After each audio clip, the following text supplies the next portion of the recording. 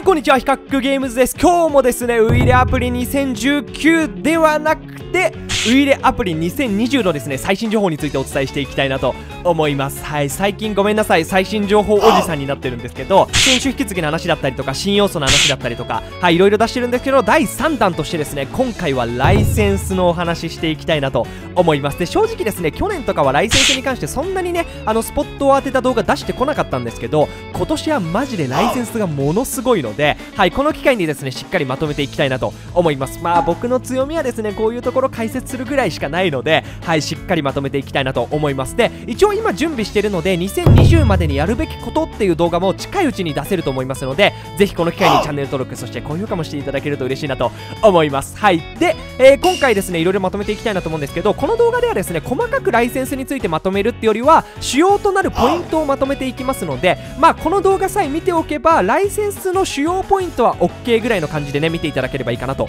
思います。参考となる記事とかも概要欄に貼っておきますので自分の目で細かく確認していただきたい方はですねリンク先飛んでいただいて見ていただくといいんじゃないかなと思っております。ということで早速中身いってみましょう。はいまずはですねオフィシャルパートナーシップのお話をしていきたいなと思うんですけどはいもうこの4チームですよねまずは。はい左からですねバイエルンバルセロナユベントスマンチェスターユナイテッドということではい目玉4チームこちらになるのかなと思います。この4チーム取れただけでマジで売り上げ本当に変わりそうですよね。はいでまあこの4チームがね発表された時は僕自身も一番驚きました。まし同時に一番嬉しかったニュースでもありましたね。はいこの4チームが目玉でありつつも他もですねこんな感じでしっかりライセンスが取れていてまあこの辺に関しては2019から引き継ぎのチームも多いのでそんなに驚きはないですけどまあ当たり前のようにですねアーセナルシャルケミランインテルこの辺りが来てくれたっていうのは普通に感謝しなくちゃいけないですよね。まあ唯一の欠点で言うとやっぱりリバプールが消えてしまったこと。これはかなりですね痛いところではあるんですけどまあ契約とかいろんなところを考えると仕方ないところだったんじゃないかなと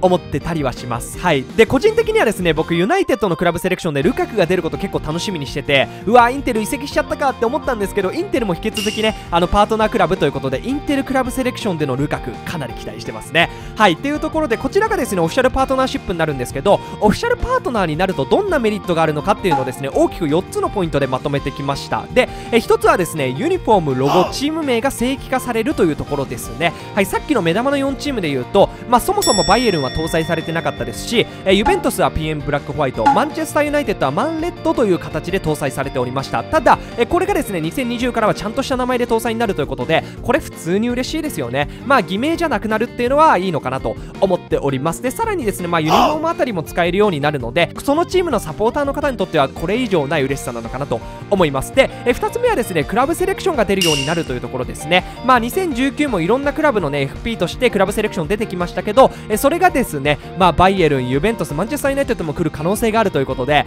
これがまあ一番熱いかな僕の中では。はいすごくすごく楽しみですよね。はいで3つ目はですねアイコンがユニフォーム姿になるというところですね。はいこれライセンスがないとですね灰色にくり抜かれた形になるんですけどしっかりですね正規のユニフォームを着た形になるのでまあこれはぶっちゃけテンションが上がるぐらいしかいいところはないんですけどそのテンションが上がるっていうのがねモチベーション維持のためにはすごく大事だと思ってますのではいいいポイントなのかなと思います。はいで4つ目がですねレジェンドが出てくる可能性があるというところですね。はい去年もですねアーセナルだったりとかあとリバプールからいろんなレジェンド出てきましたけど今年はですねユナイテッドユベントスそのあたりのですねレジェンド選手が出てくる可能性あるので特にユナイテッドのレジェンドはねすごく楽しみにしてる方も多いと思いますのではいまあ FP だけじゃなくてこういった新レジェンドにも期待していきたいですよね。はいそんな感じかなと思っております。このですね大きく4つのメリットがあるんですけどこのメリットをですね最初に紹介した目玉4チームで適用されるっていうのが本当に嬉しいし興奮するポイントですよね。でえ続いてですねちょっと偽名チームの扱いについても触れていきたいなと思うんですけど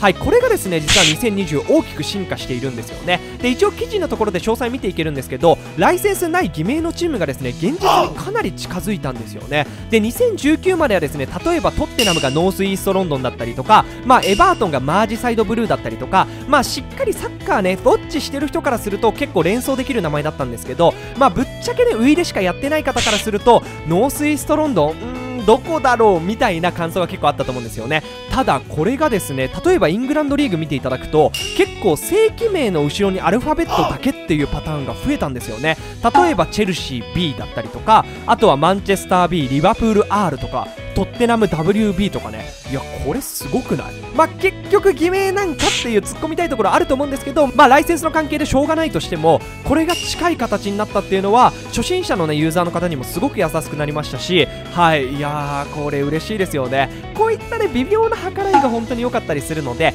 この偽名チームの扱いっていうのは2020大きく進化するポイントなんじゃないかなと思っております。はいで次にですねリーグライセンスの獲得についてもお話していきたいなと思うんですけどまずですねここですすごく大きかったのはセリエ R のライセンス追加ですよね。いやこれもすごくない？まあぶっちゃけねいろんないろんな国のリーグ今回獲得したんですけどその中でもやっぱ大目玉はですねセリエ R ライセンスということではいリーグ全体のライセンスを獲得しました。ただここ注意しなくちゃいけないのは左下にも書いてるんですけどえ個々のですねクラブライセンスを含むわけではなくて今回はですねあくまでリーグ全体の話になるのでさっき言ったですねユベントスがオフィシャルパートナーみたいな話とはちょっと別になるのでそこだけはですね注意していただきたいなと思っております。でこの件ですねライセンスなどに詳しいしぐれさんって方に聞いてみたんですけどまあリーグ全体を取れたことによるアプリへの影響っていうのはぶっちゃけ直接的にはそんなに多くないんじゃないかなって話をしてました。で強いて言うならですねえ2つあるかなと思ってて1つはセリエ R 関連のイベントが正式に搭載されるということですね。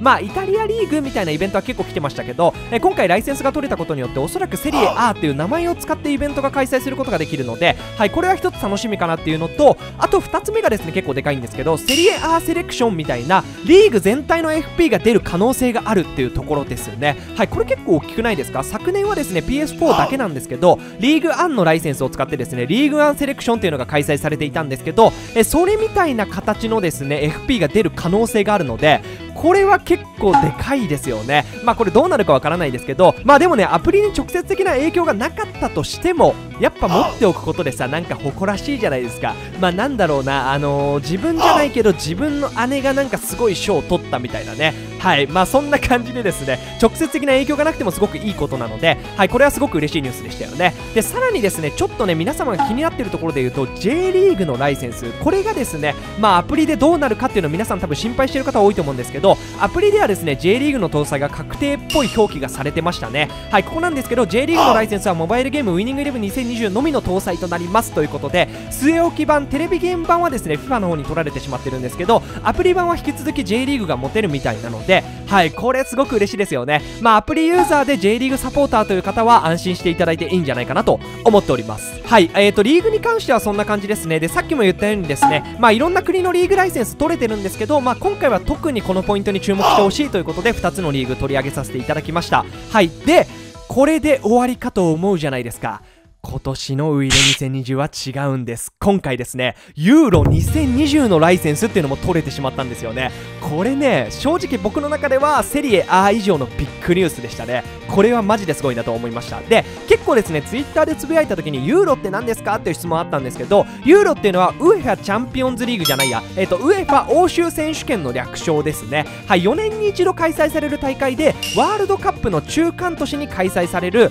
まあなんだろうなアジアカップの欧州版と考えていただければいいのかなと思います。ただねヨーロッパ限定なのでめちゃくちゃレベルが高いのでまあそうだなアジアカップってよりヨーロッパ限定のワールドカップって考えてもらった方がまあよりリアルな感じ出るかもしれないですね。はいっていう半端ない大会のライセンスが取れてしまったんですよね。いやーこれさどうしちゃったの？コナミさん。ねライセンスに関しては頑張りすぎてないかっていうね。はいそんな気持ちもしてしまいますしなんか例を挙げるのであれば中学校の時結構地味だった友達が大学になってめちゃくちゃ美人になってたみたいなね。はい。まあ今回も微妙な例えかましていくんですけどそんな印象を受けましたね。でこのですねユーロ2020のライセンスがアプリにどんな影響を及ぼすかっていうところなんですけど大きくこちらも3つあるかなと思ってて1つはですねユーロ系のイベントやガチャが来る可能性があるというところですよね。はいこれですねチャンピオンズリーグのですねライセンス持ってた頃にウイレアプリやってた方は結構イメージできると思うんですけどえチャンピオンズリーグのですね名前を使ったイベントだったりとかガチャっていうのが結構来てたんですよね。でこれがですねユーロ版で開催できるって考えると結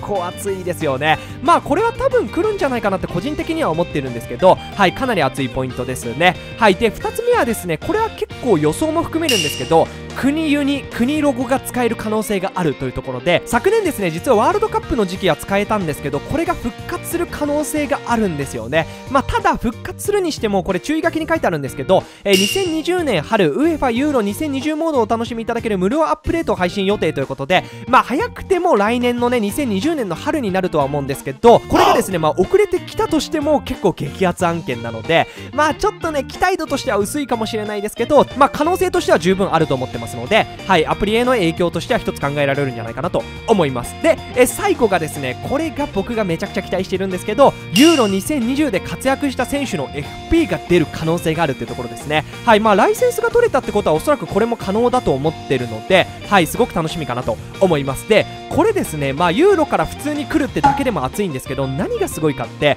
これリーグ戦お休みの代表期間に FP が出せるかもしれないっていうところなんですよね。これ今ねあのウイイレって代表ウィーク FP がお休みになるんですけどここの穴埋めができたらですね普通にユーザーも飽きずに続けられるのでそれだけでもいいですしさらにですねユーロ2020って本戦がですね2020年の6月から7月に行われるんですけどこれって1920シーズンが終わったその直後のタイミングなんですよね。ってことはですよ今ウイレアプリとか PS4 も氷河期なんて言われてますけどこの氷河期のシーズンに